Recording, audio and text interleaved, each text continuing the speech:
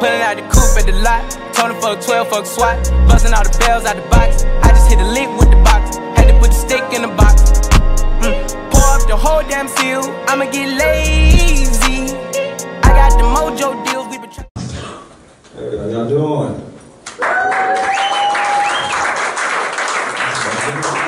all the comedians, you know, I see a lot of these comedians up here, you know, nervous and shit.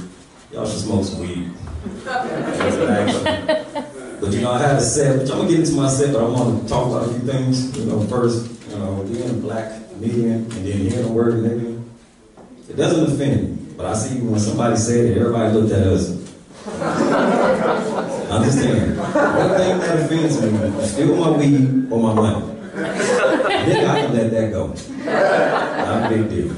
Another comedian came up here. He said, uh, well, I don't know if he's still here. And he said something about the word. I can't even pronounce the motherfucker.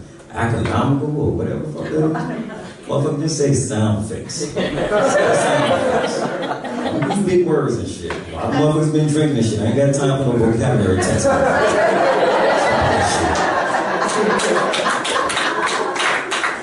But beyond that, like I said, I'm another, another comedian. Like I said, I can go on and on. You know, I'm just, let me say this, white people. I do comedy to study y'all. And I understand that y'all are the chosen people. Now let me get into that, because I know we ain't gonna get to biblical terms. Chosen people meaning white people, y'all the only ones who see Bigfoot, Loch Ness Monster, all the true chosen people. And I thought about that and shit. I said, you know, what would happen if a white man goes off in the woods and run into a Bigfoot? He'd be scared and shit. But what would make the Bigfoot, uh, Bigfoot scared? Seeing a black man. Think about it. White dude, Bigfoot, my black ass walking through the woods. I can just imagine Bigfoot section. Is that a nigga? he almost seen me.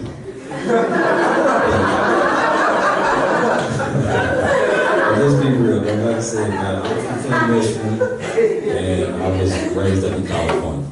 I tell everybody between bad water and good weed, I am definitely fucked up. I embrace that too. You know?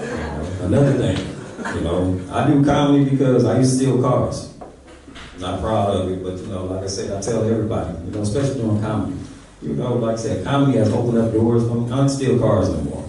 So for people who show up to comedy uh, shows and don't want to laugh, okay, motherfucker, your car gonna be gone.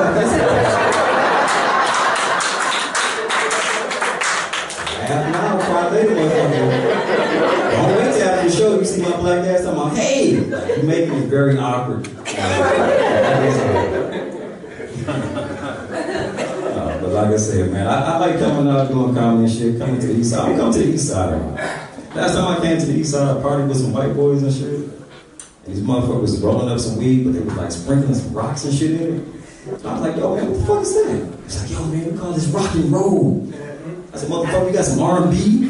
some hip hop or something? I ain't fucking with that. I ain't, I ain't doing that shit. You know? Like I said, but doing comedy for a couple years, and like I said, I love it, man. I really do. Gets me out of a lot of trouble and shit. You know. Another thing is, you know, I just think about all the the good shit and the bad shit and all that that goes on in life. You know, when I think I need to smoke some more weed. it's depressing. You know, certain things just depress me and shit. You know. But like I said, I love it though.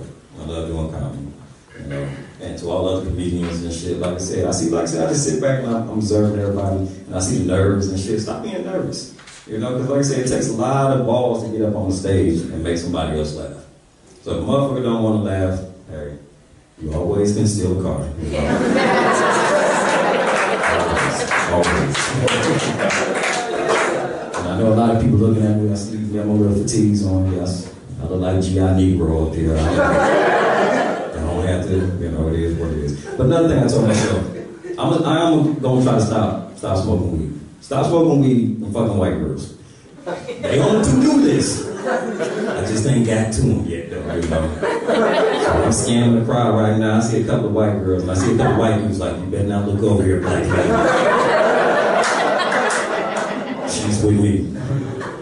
If you don't laugh, she's gonna be with me in your car, motherfucker.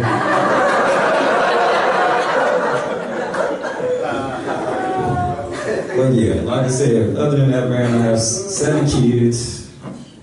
When I tell people that, they're like, damn. I said, yes, I've been fucking. That's how you get seven kids.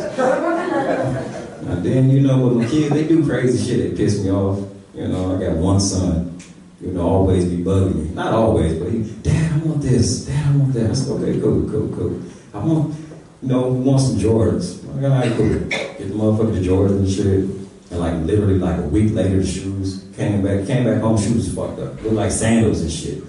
I'm like, yo, man, what the fuck happened to your shoes? I've been playing kickball.